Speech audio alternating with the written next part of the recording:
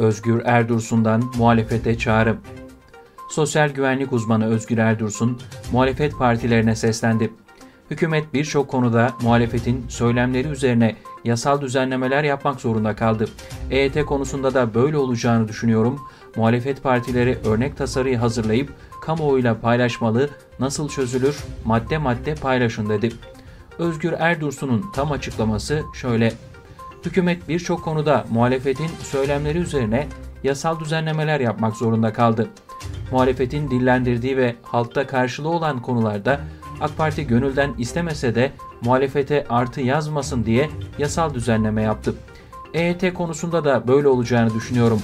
8.09.1999 tarihine kadar emeklilikte yaş sınırı yoktu.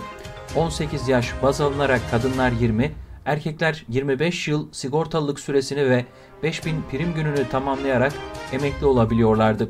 1999'da kademeli yaş şartı getirildi ve EYT ortaya çıktı. Tekrar yeni yaş kabul edilemez.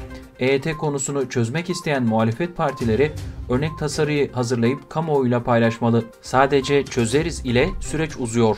Nasıl çözülür? Madde madde paylaşılmalı açıklamasını yaptı.